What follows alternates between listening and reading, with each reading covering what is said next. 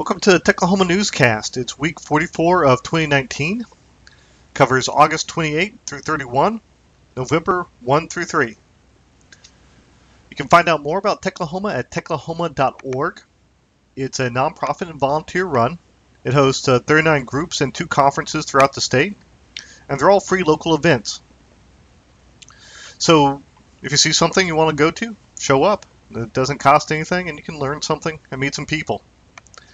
And supporting Techlahoma supports Oklahoma's grassroots tech community. Yeah. All right, so Techlahoma Code of Conduct is at techlahoma.org forward slash code hyphen of hyphen conduct. And the Techlahoma Incident Report is at techlahoma.org forward slash incident. Yeah, so if I if I say anything that uh, offends anyone, you can go there and fill out an incident report. Hopefully not. Try to keep it to you know, safe, like just PG, but you know. All right, if you want to get in touch with Techlahoma, there's Techlahoma Slack. You can uh, sign up at slack.techlahoma.org, and you can find more info out at techlahoma.org forward slash spaces.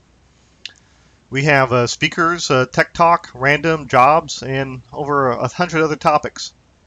Uh, there's one about Golang, there's one about functional programming, there's one about uh, UX.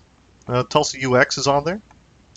It's a, it's a good group. They've got some good stuff going on. So let's talk about local news. This is the Halloween Hangover Edition. Yeah, hopefully everyone got some candy or, you know, went to a party. All right, Tulsa meetups. Uh, Monday, 10 slash 4 is a Tulsa Data Science. That's a Python from Data Science. Uh, they're going to practice using Python libraries for data visualization, like Matplotlib. They have data manipulation with uh, NumPy, Pandas, OpenCV, and machine learning with uh, scikit-learn, TensorFlow, and Keras. Uh, I'm sure there's more stuff there, but uh, that's what they list. If you if you want to know what to bring, bring a laptop, a problem, a will to problem solve, and an attitude for collaboration. Yeah, seems pretty good. It's uh, 6.30 p.m. to 8 p.m. at the Tulsa County Central Library. That's uh, downtown Tulsa. Something like uh, 5th and Denver, I believe. Uh, they'll meet in one of the large study rooms, either the second or third floor on the southern side of the library. That's uh, the southern side is where you go in, where you drive up to and go into the parking lot. That's the that's the main entrance. Uh, parking is free for the first two hours after after taking your ticket. So if you're going to park there for more than two hours, it's going to cost a little bit, uh, like a couple dollars, I believe. But it's not bad. Uh, Tuesday, 10 slash 5 is Tulsa Web Devs Techlahoma Hack Night. Yes, uh, there's childcare provided by the Lobeck Taylor Foundation.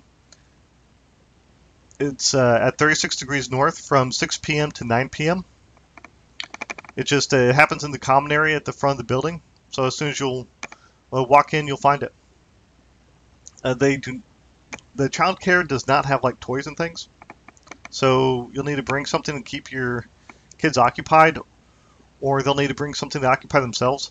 I mean, they can participate in Hack Night if they want, if they would like. They can, you know, bring stuff they want to hack on. They can do that as well. Uh, there's no set agenda. Just, you know, just bring whatever. All right, OKC meetups. Uh, Monday 10 slash 4 is OKC Sharp. They've got lightning talks. That's 11:30 uh, a.m. to 12:30 p.m. at Starspace 46. Tuesday 10 slash 5 is the Product Tank OKC. This is a give the user back their voice talk. I'm not quite sure who's presenting that. That's going to run from 11:30 a.m. to 12:30 p.m. on Tuesday at Starspace 46. And then Thursday, uh, 10 slash 7, Oklahoma Game Developers is presenting Game Storytelling Workshop. It's a workshop to help with game storytelling, presumably. That's uh, 7 p.m. to 8 p.m. Also at Starspace Starspace 46. And then Sunday 10 slash 10 It's Free Code Camp OKC. This is the Avoiding Complacency with the Salas Herrera. That's uh, 2 p.m. to 3 p.m. at Starspace 46 as well. Yeah, Free Code Camp is a free free uh, educational curriculum where you can learn to do HTML, uh, JavaScript, and basically web development. You can uh, go through curriculum, you build a full, fully working website. Uh, Control Shift Code School is still ongoing. It's a code school for, for survivors of interpersonal violence and abuse in Oklahoma City. Uh, they're looking for volunteers. You can be a guest speaker or technical slash teaching assistant. And if you want to do, if you want to volunteer, there's a sign up spreadsheet in the Slack channel. The this is Techlahoma Slack. It's a hash control shift school. All right, so national news. The Unix turns 50 edition. So happy birthday, Unix. It doesn't look that old. It started in Bell Labs, I believe in uh, March 1969. And November was, I think, I believe, one of their first releases. It uh, spawned the C programming language and the anti-Unix movement. Yeah. So, congratulations, Unix. Here's to uh, another half century. All right, uh, Google bought Fitbit. Still trying to make fetch happen. It's 2.1 billion to not give up on Wear OS. If you're not aware of what, if you're not uh, familiar with Wear OS, that's okay. Most people aren't. It's their wearables operating system. Uh, Rick Osterloh, uh, the Google Vice President of Devices and Services, had this to say. Over the years, Google has made progress with partners in the space with Wear OS and Google Fit, but we see an opportunity to invest even more in Wear OS as well as introduce made by Google wearable devices into the market.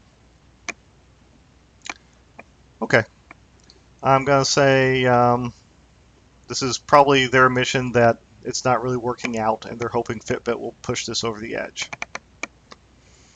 Yeah, and I'm also assuming this data is going to end up when uh, feeding Google's ad machine and you'll be able to tell your health status by the ads that show up. Hey, you've run for eight miles today. How about some cake? Also, Python adopts a new release cycle. They'll have new revisions every 12 months. So if you're wondering what this means, this is five years of total maintenance, bug fixes and full releases bi-monthly for one and a half years, uh, security updates and source-only releases for the next three and a half years on an as-needed basis. And what they mean by full releases is this is our binary installers will be released for Windows and Mac OS.